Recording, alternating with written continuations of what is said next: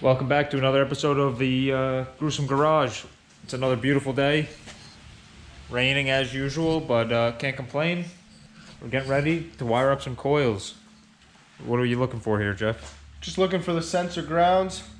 We have five sensor grounds left. I used one for the coolant temp and I'm probably going to split off so they're going to share, the coils are going to share a sensor ground each. So we're going to use three of the five sensor grounds. I know I need one more for the cam position sensor and I'm just going to leave an extra one just in case I find another sensor or two that needs one. You know, let's say Matt wants to put flex fuel or something in. Why not just keep a sensor ground for extra down the road? So we don't have to hack into our existing harness. We can pull out of our spare. Exactly. Makes life a little easier. Makes Jeff a little happier. Let's wire up some coils. Right now, we are just pulling some switched ignition power to our coils. So I'm just laying out, that's gonna be our, that's what the red wire is gonna be. So I'm just pulling, if you guys wanna check out my cool little helper over here. Just got it on a spool and I'm pulling it to here, about this length, and it's gonna all get hooked up to our switch power on the painless fuse box. So super simple, super easy, but you know, takes a little time. So as you guys can see, we have a uh, couple new additions here in our, what would you call this, Jeff? Our, uh, Power area, yeah. you know, the, the main brain. the wire zone. We got a uh, little painless fuse box here. Doesn't matter. You guys know what it looks like inside. Bunch of tabs for fuses, all labeled, everything nice. And uh, we got a power distribution here. So our main power will come to this, and then from there, go to everything else. So out of the painless box, you get a uh, all these red wires. These are all constant power and uh, all these orange wires are switched power. So we're going to be wiring in our coils here to the switch power. So when you turn the ignition on, that will come on, and it will also send power to the Mega Squirt as well. through the relay box. We are back. We got three out of the four wires run for our coils. One of these is a sensor ground from the Mega Squirt. The yellow and the yellow, all the yellows are the sparks. So it's spark A, spark E, spark C, spark F, spark B, and sparks D. So there's obviously two extra off of the MS3X because it has eight spark outputs, but we're only using six, so the other two are getting tied away. And so we got the yellow down, we got the black down, and the red, which I was explaining before, that's getting hooked into our painless fuse box. That's the switch ignition for these. So that's three out of the four pins that go in here. And the last pin, we're gonna use white, and that's gonna be the ground to the block itself. So that's all four pins. Let's get this wired up and make it a little fancier than this spaghetti sauce over here. So as you can see, it looks like an absolute disaster. It's a little prettier than before, but we got most of the wires there. We just have to split off the sensor grounds. I am sharing them between two coils because there's only so many sensor grounds on the Mega Squirt. And I don't have enough for the coil packs plus the cam sensor. So we're throwing these together, splitting them apart, and I'm just using the zip ties temporarily right now to hold it all together. And then I'm gonna start running this sheath around the wires as we go together and hopefully it'll look a little prettier and it'll work. All right, so we made a little more progress in here. We've got our relay box back in here, and we had to solder a few wires in here. So this red wire here is the 12 volt battery. That's what it says on here, which will go right to the power distribution here. This is our switched 12 volts, which will be wired into our painless harness over here, which will be turned on with the single ignition switch, send power to everything. And this is our engine ground. So this will be wired probably through here, through here to our uh, engine and grounded. So that's done. now with this relay box, we have a harness that goes from, I don't know if you can see this connector here, DB37, up to this DB37. We have the harness cut. We just got to make the plug for that. And then now we can start tying in all of these, which are our sensors, uh, injectors, a few other things. Most of the input sensors, so our coolant temp, idle air control, throttle position, and a couple others are going through this relay box. Most of the others are going through the Mega Squirt itself through this cord right here.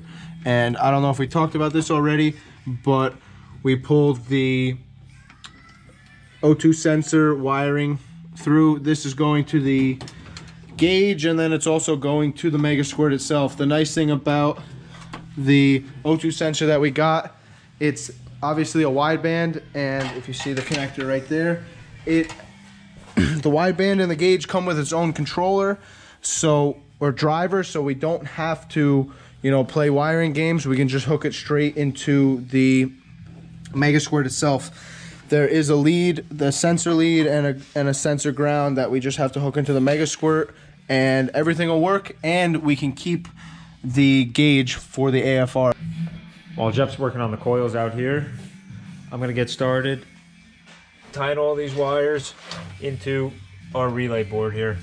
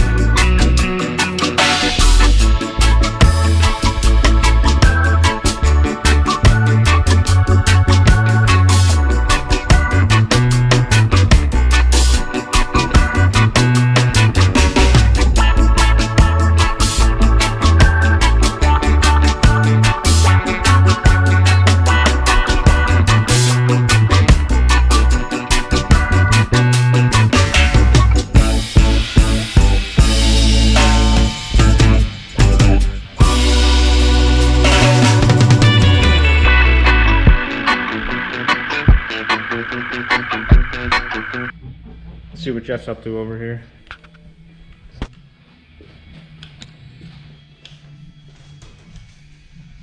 slowly but surely if you guys can check it out we are splicing together the coil packs got a little prettier so all we gotta do is put our pins on there pull this up click click them in click it in and give it a little heat shrink to make it pretty. So let's hop on that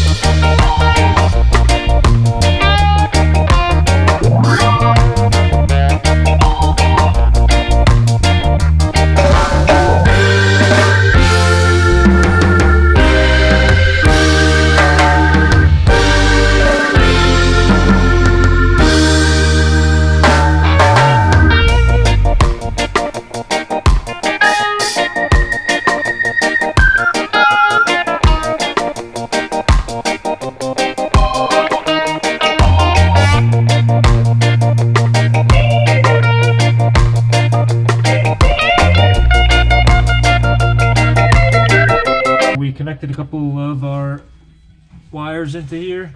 We got our water temperature, our intake air temperature, our throttle position sensor, and our idle air control.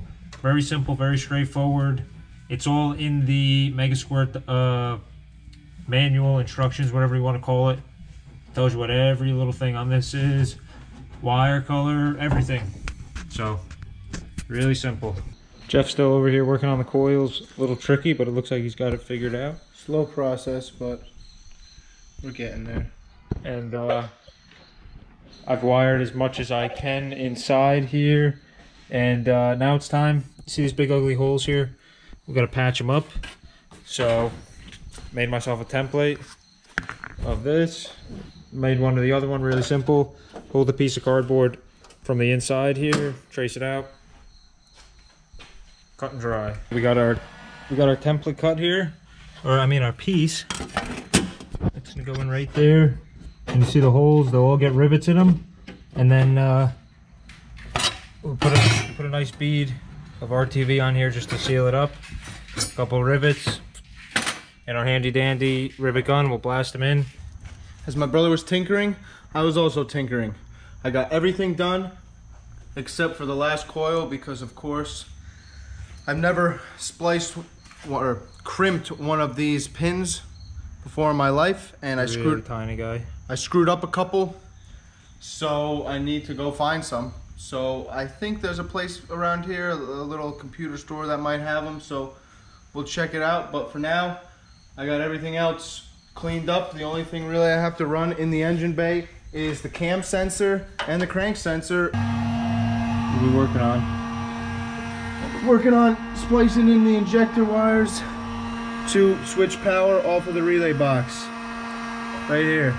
There's only four slots so we're gonna splice two together into one like this two to one and then the other two we'll just directly put in. So we use all four slots up. Should be fine.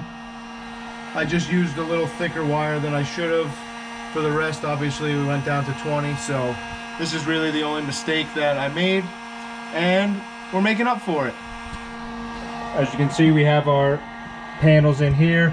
We'll save these two holes probably for starter alternator wires, or we or we we'll use this one. Might use these for heater hoses. We'll see. Don't know yet.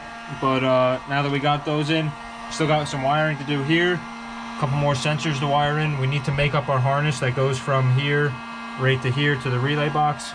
We need to tie in all our constant power from the battery out of our distribution. This we may not wire all in right now, like horn, lights, all that stuff. We just want to get the motor running for now. All right, so we're making some good progress on the Jeep right now. We have all our coils wi- wired in. Jeff's tying some stuff in on the inside. And really, all that's left to do is crank position, cam position sensor, wiring the alternator starter, and uh, some power distribution, just some stuff like that. Really, not anything major left to do. In the next episode, if you join us next week, hopefully we will wire in our sensors. It's a little tricky. We're going to show you guys exactly how we did it. Hopefully it works. If not, we'll let you know. So, join us next week.